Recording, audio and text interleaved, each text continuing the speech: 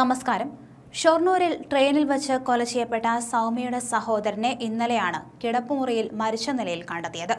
ഷൊർണൂർ കാരക്കാട് മുല്ലയ്ക്കൽ വീട്ടിൽ സന്തോഷാണ് മരിച്ചത്. മുപ്പത്തിനാല് വയസ്സായിരുന്നു ഒറ്റപ്പാലം തഹസിൽദാരുടെ ഡ്രൈവറായി ജോലി ചെയ്തു വരികയായിരുന്നു ഇദ്ദേഹം. ഇന്നലെ ഉച്ചയ്ക്ക് ഒരു മണിയോടെ അമ്മ സുമതിയും പ്രദേശവാസികളും ചേർന്ന് വാതിൽ തുറന്നു നോക്കിയപ്പോഴാണ് ഇദ്ദേഹത്തെ മരിച്ച നിലയിൽ കണ്ടെത്തിയത്. രാത്രി ഉറങ്ങാൻ കിടന്ന സന്തോഷ് പിന്നെ വാതിൽ തുറന്നിരുന്നില്ല. ഷൊർണൂർ പോലീസ് എത്തി തുടർ നടപടികൾ സ്വീകരിച്ചു. മൃതദേഹം ഒറ്റപ്പാലം താലൂക്ക് ആശുപത്രിയിലേക്ക് മാറ്റും. രണ്ടായിരത്തി പതിനൊന്ന് ഫെബ്രുവരി ഒന്നിനാണ് കൊച്ചി ഷൊർണൂർ പാസഞ്ചർ തീവണ്ടിയിൽ സഞ്ചരിച്ച കൊച്ചിയിലെ സ്വകാര്യ സ്ഥാപനത്തിലെ ജീവനക്കാരി സൗമ്യ ക്രൂരമായി ആക്രമിക്കപ്പെട്ടത്. ഫെബ്രുവരി ആറിന് തൃശൂർ മെഡിക്കൽ കോളേജിൽ വെച്ച് സൗമ്യ മരിച്ചു. പ്രതി ഗോവിന്ദസ്വാമിക്ക് വധശിക്ഷ വിധിച്ചെങ്കിലും പിന്നീട് അത് റദ്ദാക്കിയിരുന്നു.